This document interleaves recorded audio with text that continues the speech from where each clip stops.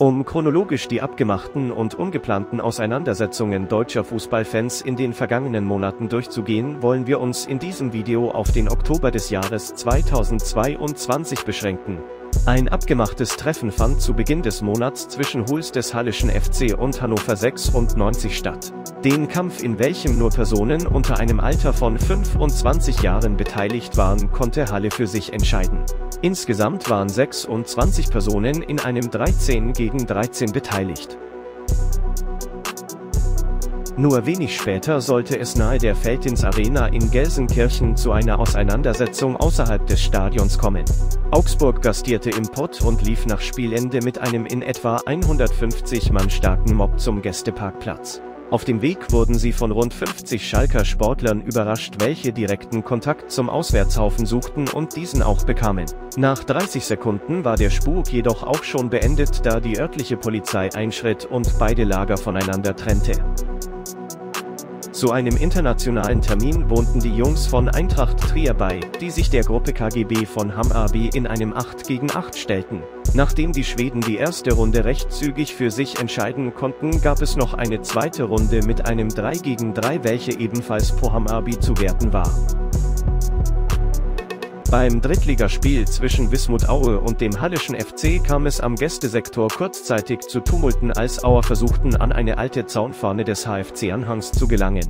Über die Zäune und Gitter war jedoch kein Kontakt möglich und so blieb es bei ernsten Blickduellen und ein paar Rennereien. Einen abgemachten Fight sollte es zwischen den Sportfraktionen von Bayern München und Mainz 05 geben. 19 gegen 19 über einen Zeitraum von knapp drei Minuten kann sich durchaus sehen lassen. München konnte das Duell schlussendlich für sich entscheiden. Am Essener Hauptbahnhof sollte es gegen Ende des Monats Oktober interessant werden, als sich zufällig die Szenen von Preußen Münster und Rot-Weiß Aalen im Zuge ihrer Auswärtsspiele auf dem gleichen Bahnsteig begegneten. Da Münster in etwa dreifacher Überzahl agierte, kann sich jeder ausmalen, dass die Ahlener eher in der passiven Verteidigungsposition verweilten. Nach einigen Minuten schritt die Staatsmacht ein und sperrte den Bahnhof im Anschluss für mehrere Stunden. Ein gut geplanter Angriff von sportlich motivierten Fans aus Rostock auf mehrere Busse der Babelsberger, welche sich auf dem Rückweg von einem Spiel aus Greifswald befanden, soll auch nicht unerwähnt bleiben. Dabei gelang es den zahlenmäßig überlegenen Busbesatzungen der 03er die Angreifer nach einigen Minuten in die Flucht zu schlagen.